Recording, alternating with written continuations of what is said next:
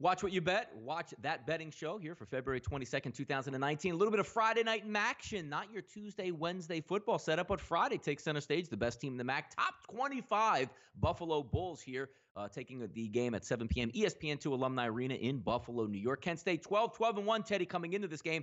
Buffalo very, very savvy for their backers. 15, 8 and 1 against the spread. 13, 7 and 1 against the spread as a favorite. Certainly earning their money. Undefeated Teddy on their home court, 11 and 0.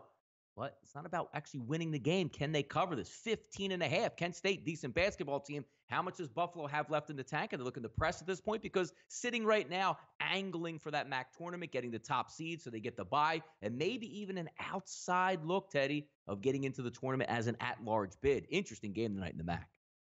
Sure, though, if I'm a team like Buffalo, I I better count. I'm counting on winning the MAC tournament, not hoping the committee saves a bid for mm-hmm. me. Buffalo could very easily be a team that's on the outside looking in if they don't win their conference tournament, which means a game like this is not quite as meaningful as it would be. And of course, it's a Buffalo team. They're coming off a near perfect offensive showing. I mean, 19 of 33 from three uh, in the game against Ohio earlier in the week. That's an all time school record. They shot well over 50% from two point range as well. When you're coming off First, a huge win on the road at Toledo in a game where they rallied back from behind in the second half. And then a near perfect, I mean, obviously it wasn't a perfect shooting night, but a brilliant shooting night in their last game. And now you're laying 15 and a half here against a team that doesn't stink. Kent doesn't stink. First meeting between these two teams was tied at 73 with what, about five minutes to play. And then Buffalo mm-hmm. closed on a 15 to 6 run to win by nine. No surprise. The Bulls do the same thing tonight a competitive game. They pull away late. They win by nine or 10 or 11. That's not enough to cover this 15 and a half point spread. Spurs go north of the border. Kawhi meeting up with his old friends here, Teddy. The Raptors prohibitive favorite here, minus seven and a half total, 226. Money line split plus 255, minus 310. 7 p.m. ESPN takes center stage from the Scotiabank Arena in Toronto, Ontario. The, so a little bit of key numbers here. Spurs, decent, 31 and 27 against the spread. Play well as a dog, 15, 11 and 1. And we look at the Toronto Raptors overall in the season, only 26 and 31 against the spread, 13 and 15 at home, and 0 2 and 1 against the spread with more than three days days rest. Obviously, coming out of the break here. This should be an interesting one. Old foes unite. What are we looking forward to here? Yeah, this should be a lot of fun. Uh, of course, uh, we saw the Kawhi Leonard versus DeMar DeRozan matchup from two teams that traded mm-hmm. them back in January, and DeRozan got the best of it. He dominated uh, in San Antonio. 125 107 Spurs win uh, in that ball game. And oh, by the way, that was DeMar DeRozan's first career triple double coming against his former team. And of course, I mean, he's the all time Raptors leader in points and field goals and free throws and games played and wins. He is and was the face of Toronto basketball for the better part of a decade. Um, so certainly the emotions will run high. And of course, we've got the two brothers matching up Pau against Marc Gasol. Gasol, an impact addition for Toronto at the trade deadline, along with Jeremy Lin.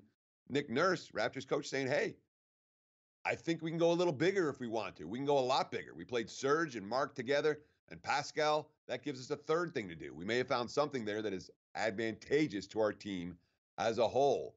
I could see us being able to play really big, then at times putting all of our little penetrators out there and playing small and fast, which is what I want to do. Nick Nurse has done a pretty good job with this Raptors team this year. I would not be surprised at all to see Toronto get a little payback after getting embarrassed in that first meeting. Thunder kick off the second half versus the Jazz, favored by four and a half, total 226. Money line split of plus 170, minus 200. Chesapeake Energy Arena, 9:30 p.m. Eastern Time. ESPN. If you've been back in Oklahoma City, you've been making some money. 33 and 24 in the season against the spread. 25 and 21 as a favorite. 16 and 11, Teddy, against the spread at home. Utah fresh, Oklahoma City fresh. Second half is underway. Should be a good one tonight. Yeah, it really should be. Uh, and you can say it's player revenge. It's not player revenge anymore. Uh, Utah beat Oklahoma City last April, uh, four to two in that series. Though the Thunder have already beaten the Jazz twice this year. The one point win in Utah and a nine point win uh, at home.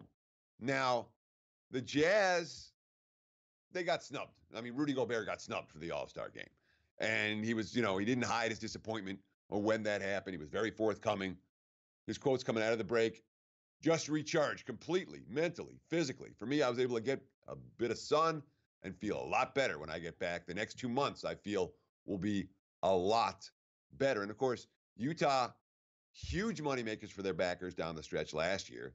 They've already won 13 of their last 16 going in to the All Star break. And they only play eight of their last 25 teams against teams that are above 500. This is one of those ball games. After this, gets fairly easy for Utah in recent weeks. And the Jazz should also are expected to get back Dante Exum tonight. The backup point guard, yeah, he matters. He missed the last 17 games with a left ankle sprain.